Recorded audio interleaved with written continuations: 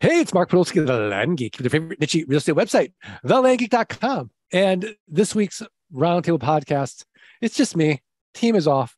But that being said, I have an amazing guest. It's his second time on the podcast. You probably already know. And don't judge him from the South African accent. It's MC Laubscher from cashflowninja.com. If you're not familiar with MC, he's a husband, a dad, a podcaster, author, and most importantly to you, dear listener, a cash flow expert. So, as a cash flow investor and entrepreneur, MC's passion is to assist investors and business owners to create, recover, warehouse, and multiply cash flow through advanced strategies. Oh, by the way, I've been on his podcast, the Cash Flow Ninja podcast, and he also had a couple other people that were kind of cool besides me, Robert Kiyosaki and Grant Cardone, you know, a few others, but mainly me.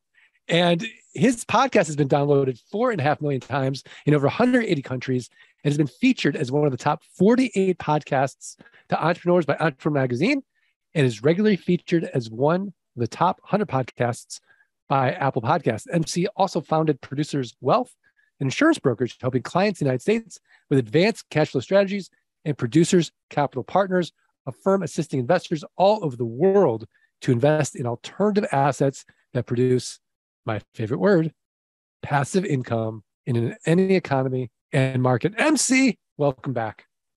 Great to see you. It's great to see you. So, what have you been up to since we last spoke? Yeah, I mean, it's it's been quite a journey, right? Uh, it's it's incredible how time flies when you're having fun. You know, five six years already of of just you know knowing each other and following your work. So congratulations on all the things that, that are happening in your world. It's just been incredible to, to watch your journey. Um, yeah, on my end, um, you know, Cashflow Ninja, which started just as a podcast, has grown into a full blown financial education company. So we've do, uh, you know, there, we've published over 900 shows. Um, we've got resources, programs, and then also uh, now books, just sharing, you know, cash flow investing as a strategy, which is kind of, you know, in our world, it's comical to say that we have to still like, you know, preach, you know, the cash flow investing strategy, because a lot of folks that that have come into our world have started to realize um, how powerful it is to have full control over your wealth strategy, uh, and within your wealth strategy, especially if it delivers passive income. Um, but there's still a lot of other folks that are still trapped in I would say the you know the the Wall Street model, the casino model. Um, yeah. So, yeah, so we continue to preach that. Um, I've been involved in a lot of fun projects. I've got to say, and, and of course, you meet a lot of incredible people along the way. Um, obviously, uh, cash flow investing is is kind of at the core of everything that I do. But uh, I have to say, you know, besides the first light bulb in my life being cash flow, you know, 21 years ago, when I read Robert Kiyosaki's book, Rich Dad Poor Dad, bought my first investment property.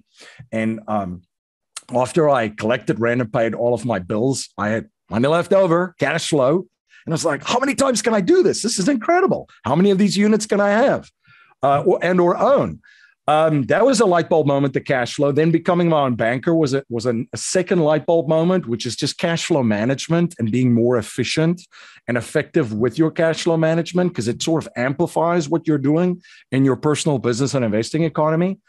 Um, the third light bulb, uh, you know, and, and it was there, always there, but it's become really, really to the forefront was, you know, just this of partnering with incredible cash flow uh, ninjas, as I call them, uh, working with great operators because it's a very, very great way of uh, just diversifying cash flow streams too, right? So I've sure. always, you know, I learned that when I when I realized that in certain niches, you pick your cash flow niche, you pick your market. There's a dominant player in it, maybe one or two, and usually it's one very dominant player. Um, and that dominant player is the, the, the, the, the cash flow ninja. Um, nothing happens in that market or that niche without that person knowing about it. and if something's about to happen, they'll know about it first because people will tell them. So to compete with them is really, I mean, you know, it's uh, it, it's tough. So the next step then becomes how do you partner with them? Um, and what can you bring to the table with them? Um, and obviously, there's a ton of different ways in which you can bring different types of capital to to partner with them. Um, but it's been great. It's been great to to then diversify cash flow uh, income streams because I just feel like today too, especially in the economy that we're living in, that's pretty exciting times. I see. I think it's very exciting. I've got. Uh, you know, I, I, see a lot of doom and gloom out there, but I find it extremely exciting because of the opportunities. But you have to be a little bit smarter too. It's just, you know, and diversified income streams and different niches and different markets from different assets is a good way to position yourself really well in an environment that's unfolding, which we don't really have a crystal ball of how it all plays out. No, uh, yeah, absolutely. It's it's so interesting because you know, obviously preaching to the choir with mm-hmm. me and most likely the listeners, but and we're talking about passive income, we're talking about cash flow. I got a uh, an email yesterday, and like, okay, you know, here's here's a fund, and here's for appreciation, and here's for yield and cash flow, like you know, like you know, real estate and alternative investments, and then appreciation. And I'm looking at the appreciation stuff. I'm thinking, why do people invest for appreciation? And why, or is it something we should like? I never think about appreciation. I just want cash flow. How do you think about it? You know, um, it comes down to almost like a, I call it the four dimensional wealth strategy, if I have to break it down. So there's a lot of folks that follow the, the Wall Street mo- model and the Wall Street casino model is essentially a one dimensional strategy. And that is, I'm going to buy some Apple stock and I'm hoping that Apple stock's going to go up. Markets go up, down, and sideways. So you're betting it on like that 33.33333333 um, uh, bet that that it's going to go your right way, and then essentially you're going to either sell it or you're going to feel really good about yourself, seeing that that your that your account value's gone up. But that's essentially it, and it's very one dimensional. It's essentially just for profit or just for appreciation, you know, right. and and that's it. so, right. So, so, yeah, so you're going to pay for appreciation or you get a real appreciation when you sell, you pay tax. And then what do you do? Exactly. Do, do it again? That, I don't that, know. That's risky. exactly. Very one dimensional. So, what, how I look at it too, um, and, and, and here's, you know, before I get to the four dimensional uh, wealth strategy, as I call it, the thing is, you have to be clear on your strategy, what you're looking to do, and then you build it out, right? So, uh, you know, if I'm going to, um, let's just say I'm going to install, you know, a light fixture, which I'm probably not. I'm not very handy. I'm probably going to pay someone to do that, but let's just pretend that I'm going to do that. I'm going to have a toolbox with different tools in that. And there's different tools that I'm going to use for different to do different things to eventually install that light light fit, fixture. So I, look at the wealth strategy as the same thing. So how the how the, the the ultra wealthy look at it is that I mean, there's different things that do different things for them within their overall wealth strategy. That's why you have different types of income. You know, that's why even folks that are just kicking butt and, and, and taking names, uh, such as yourself in the land business, there's other ancillary incomes from that one income stream, whether it be podcasting, whether it be coaching, whether it be that kind of stuff. Because there's different, there's different reasons why you have it in your overall strategy. So you have to be clear of what your strategy is, what you're looking to accomplish, and then you you you figure out, all right, I need some tools to accomplish this. So this is where the four dimensional kind of wealth strategy comes in. The first thing is cash flow, right? Because cash flow is king, not cash. Right, right. cash flow cash flow is a cash flow investor, and that's what we're passionate about. Because we want to own things that pays us. Why would you want to own something if it doesn't pay you? You know, so have something that pays you and produces cash flow.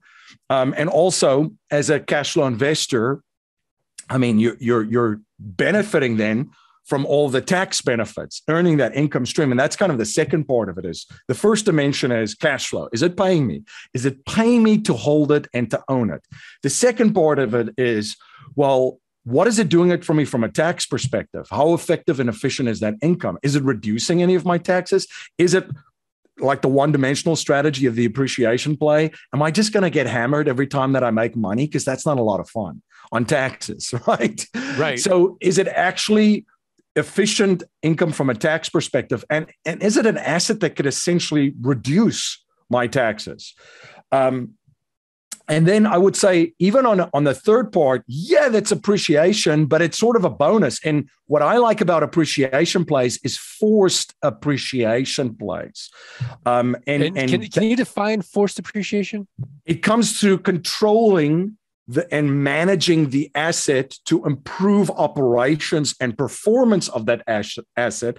And as a result, the business is more valuable uh, the value of the business is higher, and now you're forcing the appreciation of that asset.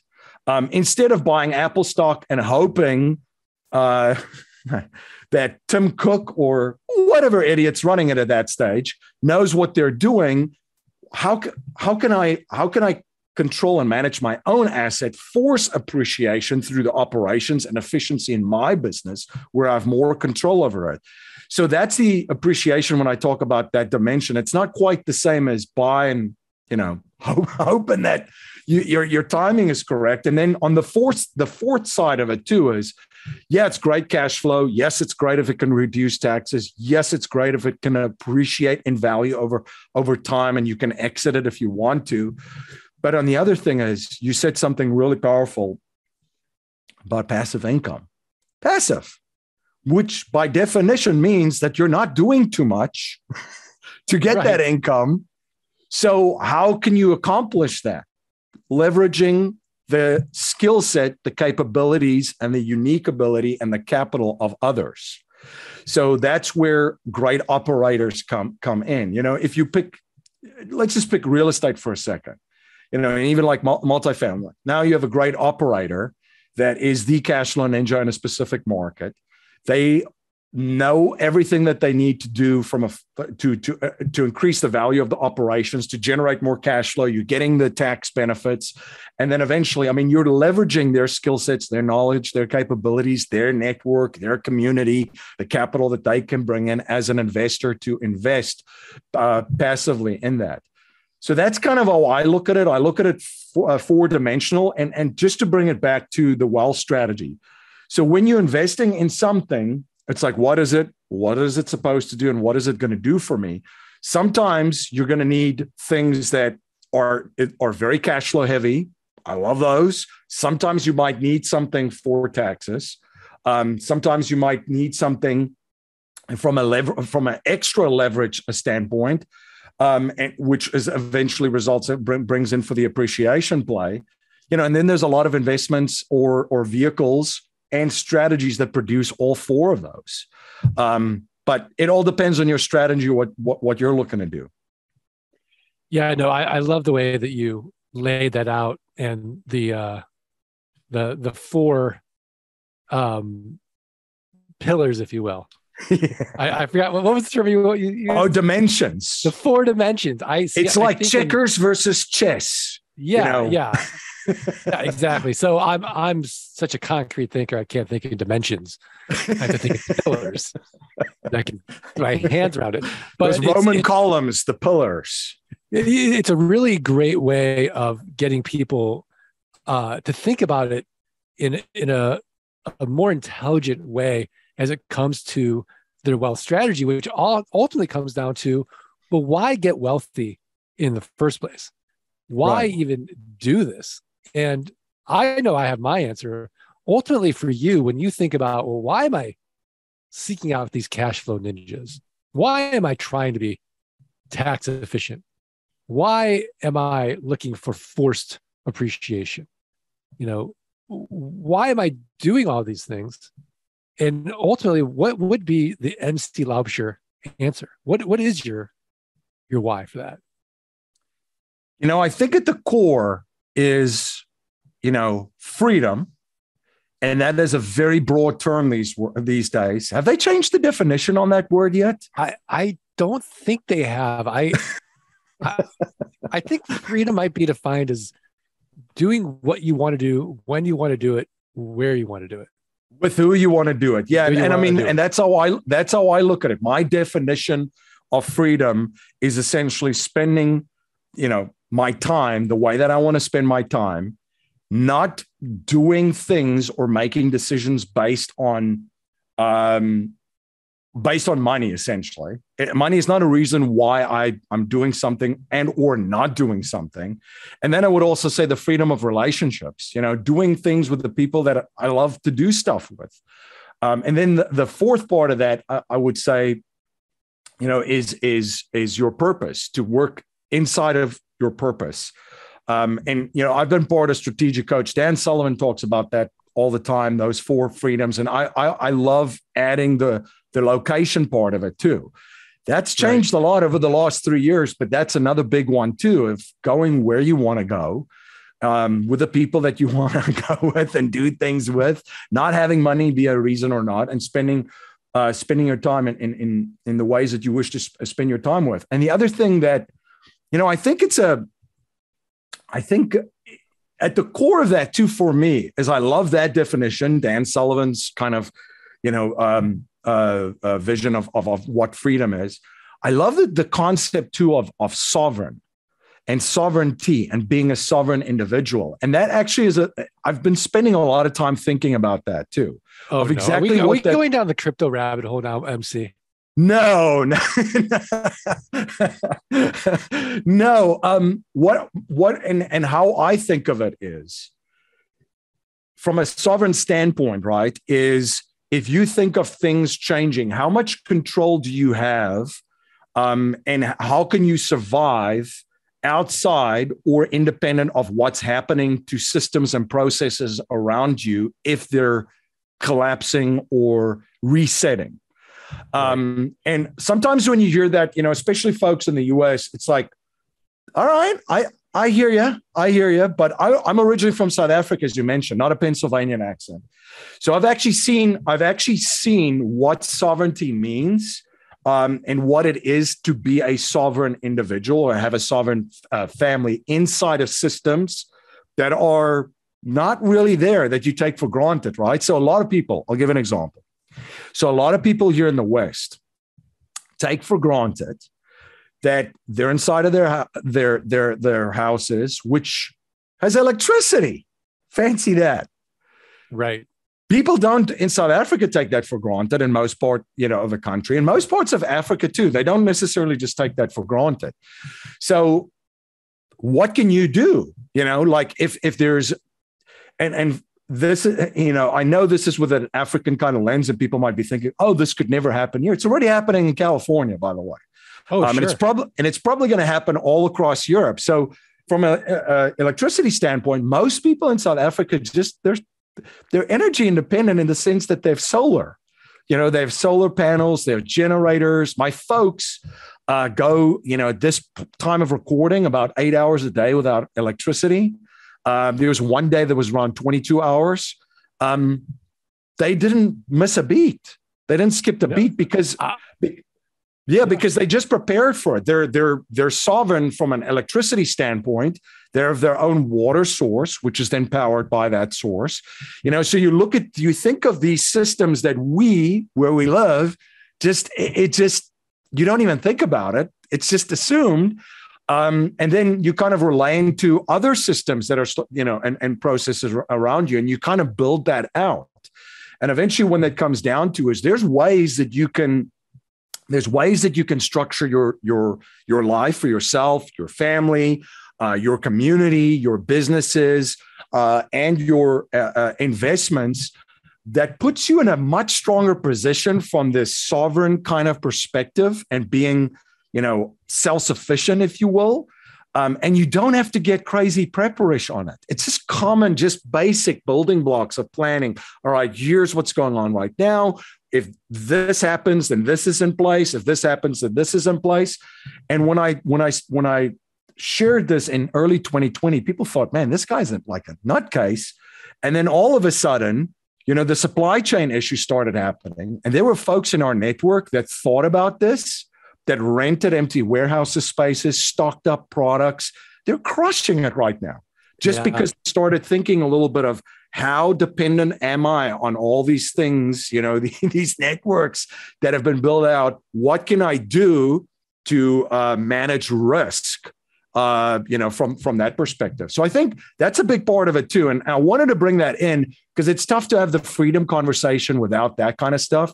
Because you could be like, oh, well, I've got all, you know, all the cash flow and you know, freedom of all these kind of things, but I'm sitting in the dark and I don't have a candle to to, to light.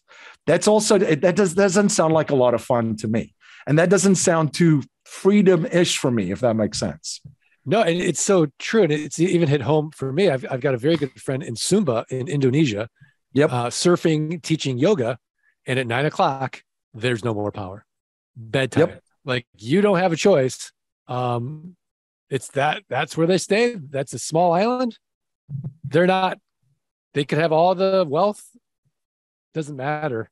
Um, power's out at nine, and you're just going to bed whether you want to or not. So it's it's a really you know uh, interesting way to to look at it. There's a great book out there, I think it's from the '99 called The Sovereign Individual, that really talks a lot about this. Yep. In in different arenas of your life, and I think it's something that I know I don't think about enough, and I think it's a great reminder, especially as we're living in such times of so much uncertainty, so much change that we i mean i know for me i didn't grow up uh with this idea like of of being sovereign. It's sort of a, especially in the west it's a it's a new thing. I mean just think financially.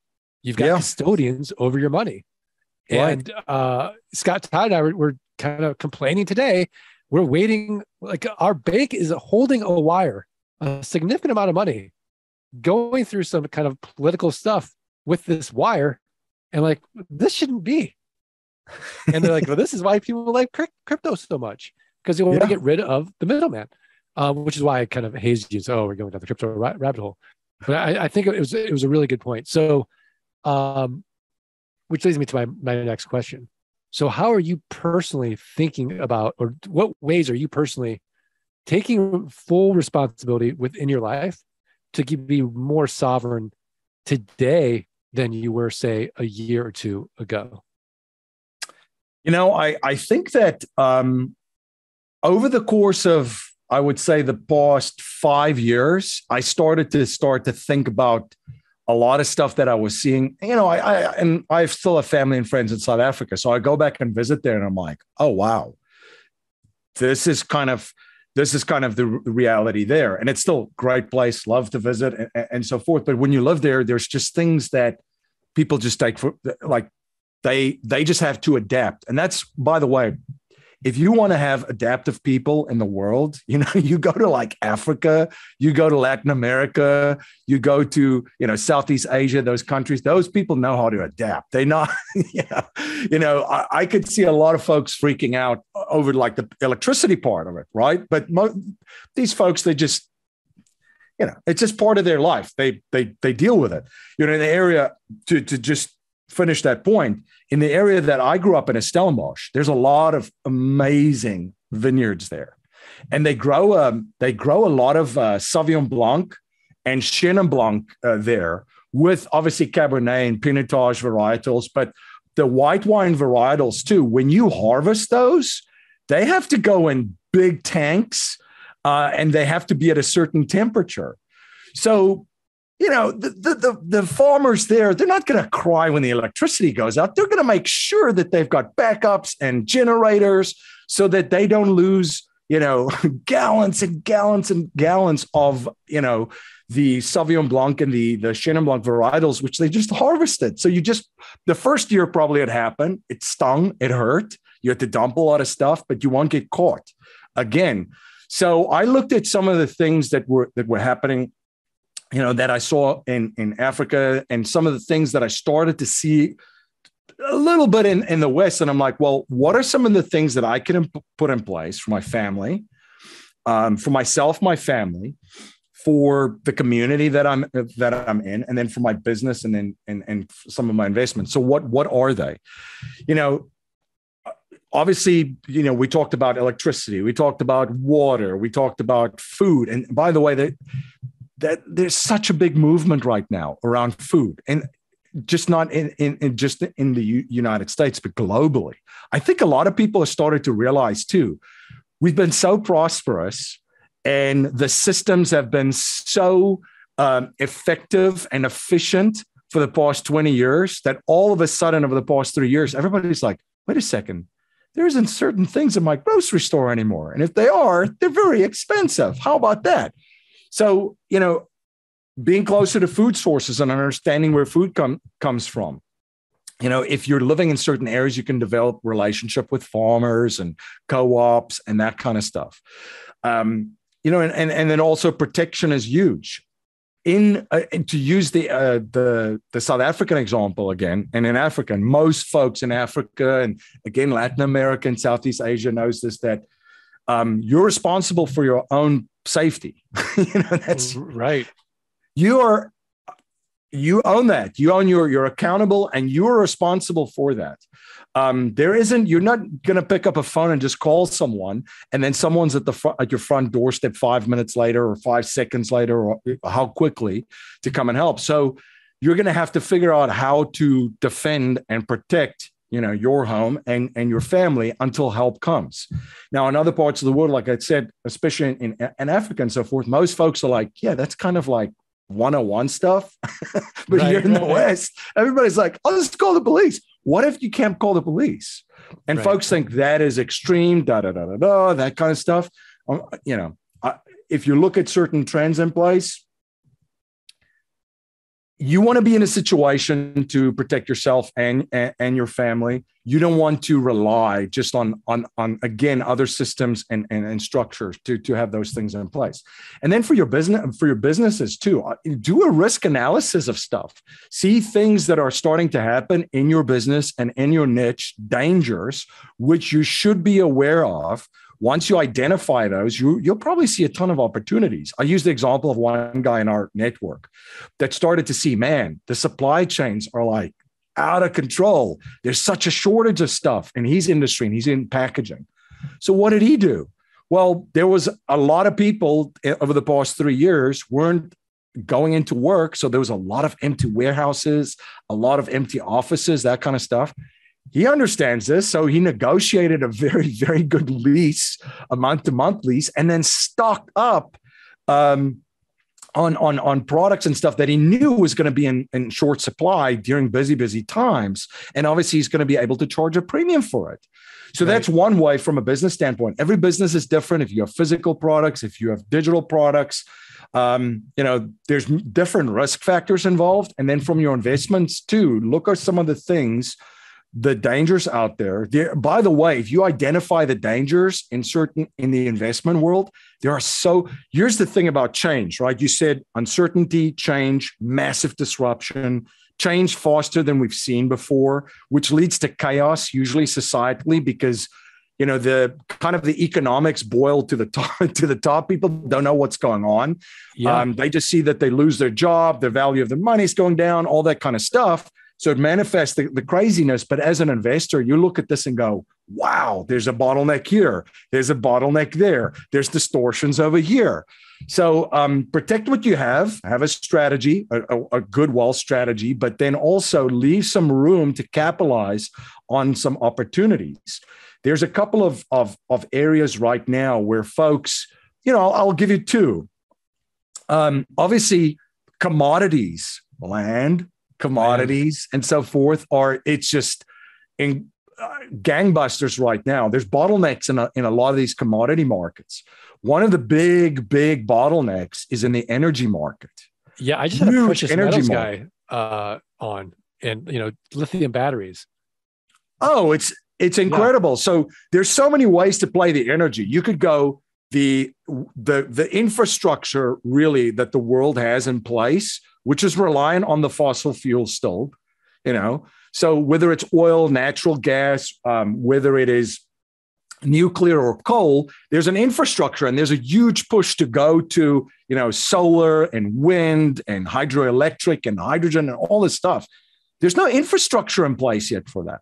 So when you switch to one the one system off and there's no infrastructure built out, which could take 5, 10, 15 years to build this out, you have a massive imbalance which now folks are capitalizing on because you still have the same demand for energy across the world. So if you reduce the supply, the demand stays the same. There's a massive imbalance that folks can capitalize on. The other way to play it, and this is Jim Rogers, one of his biggest positions is copper, you know, on the EV side of it. You know, right. Uh, incredible opportunity there. So a lot of folks, instead of buying like Tesla shares, hoping that goes up, all these folks are going to get into the EV market. You know, all of these, there's many different companies and um, all the big guys will do that. So instead of trying to pick a winner, how do you participate in this? Well, there's copper, there's lithium, there's rare earth metals, there's which aren't really rare. I've learned that too. Fun fact. But they're there and they're needed for batteries, so you can position yourself there. Um, how about food? Same thing. Massive supply destruction, same demand. You know, people aren't going to eat less. The sizes of Domino's pizza aren't going to get smaller to accommodate for it. It still needs to stay the same size. So right. there's a massive opportunity for folks to, to position themselves in there too. I mean, there's so many of these right now, right? So, um, yeah, so things that I'm personally doing to be more sovereign is start with myself, you know, mindset, uh, being physically, mentally, and spiritually strong, control what goes into your house, everybody wants to change the world. Let's change your house first inside inside your own walls. Um, make sure that that that that is a strong unit. Then you can contribute and do the same in your community. Uh, and then look at risk factors for your business and then for your for your investments and look at all the opportunities you know i love that book that you mentioned the sovereign individual there's a couple of those talking about all these you know massive disruptions that would come i'm just so happy to be alive to see the all of the many that's coming whether it's the internet of things the people of the internet of things 5g 3d printing artificial intelligence uh, I mean, you could go on and on and on. All these things that are being rolled out pretty quickly right now. So um, yeah, I'm pretty excited to live through you know these changes. Um, yeah, I mean, and, Peter Diamandis and Steven Kotler wrote this great book called Bold, talking yeah. about these these uh, these new technologies emerging, and now they're they're getting closer and closer. It's it's it's an amazing time to be alive. Yeah, and and again, there's going to be folks that don't see anything coming, and obviously, I'm preaching to the choir with with your listeners and, yourself. But there's going to be folks you just have to understand as an investor to the environment that you're operating in. Um, that there's going to be a lot of folks that don't see any of this coming. They don't listen to podcasts such as these, which they should, uh, to kind of understand what is happening, what is in the process of happening. Um, the folks that do see all these things coming and position themselves, I mean, they're going to be on on the right side of this uh, greatest wealth transfer, which I've heard, you know, probably for the past 30 years, everybody talks about this great wealth transfer. I mean, we've seen the wealth transfer, you know, since 2020, really it went into overdrive. We've seen right. it sort of slowly over the past 20 years, but 2020 was like, it was uh, it was it was incredible. Um, and they're going to continue to be on the right side of this, knowing what's coming, knowing what what is happening because it's going to manifest itself in many different ways which would sort of be a distraction from the underlying um, you know the underlying cause. Absolutely. Well mc it's always a pleasure talking to you and your mentorship has been phenomenal this podcast but now we're at that point where i'm going to put you on the spot and ask you for your tip of the week a website, a resource, another book, something else actionable for the art of passive income listeners to go improve their businesses, improve their lives. What have you got? There's something that I've been thinking about quite a bit, and it actually it's actually the it's actually the ninja part of the cash flow ninja. So my dad is a very well-known martial artist. He used to travel six to eight countries a year, ninth dan a black belt. He's 74 years old, could still kick my butt, just clobber. Wow. Um, and the lesson that I've learned from him was that he pursues excellence in his craft daily. So it's almost like Nelson Nash always talked about the arrival syndrome, where people are like, Oh, I've arrived at knowledge. I'm really smart. I'm right there. I arrived at knowledge. It's almost kind of the same concept where, so here's what I will share with listeners. In your capacity as a business owner or as an investor, pursue excellence in your craft as a business owner or an investor. Get better every single day. Um, and and that's you know that's one tip that I share that I've really focused on this year. Is every day, I just want to get better every day. I'll never know everything that there is to know. No one does. You know, um, you'll never reach that essentially that that that uh, summit that everybody thinks that oh i'm right there you look at the most successful investors the most successful entrepreneurs they're just trying to get better and learn and um, get better every single day so that's the one tip that i would i would share um, that i would share with your listeners is just pursue excellence in your craft daily as a business owner and as an investor yeah i love that and you see it in life where people who are just mediocre feel like, oh, I'm good enough. And then they're like, okay, I'm I'm good enough at this piece of whatever they're they're doing. And then you see the people who are above average uh, are like, okay, I'm going to keep working on this, but they don't really have a, you know, a, a, a real strong path forward on how they do it. They kind of do it, you know, here and there. And then you have the people who this is my craft and they work on it every single day and they have a, a internal drive to get better or what i like to say is like i like to be less wrong every day and so i'm doing and, they, and just like james clear talks about in the atomic habits doing that every single day compounds and to your point you'll never get to the top but you will at some point be able to be like okay relative to my peers, I'm excellent at this. Like your dad is excellent at kicking butt in his martial art. And, you know, MC, you are clearly excellent in your craft of investing and disseminating knowledge, podcasting, and just being a phenomenal human being. So thank you so much because my tip of the week was learn more about MC Laubscher, go to cashflowninja.com and find all the MC Laubscher goodness there.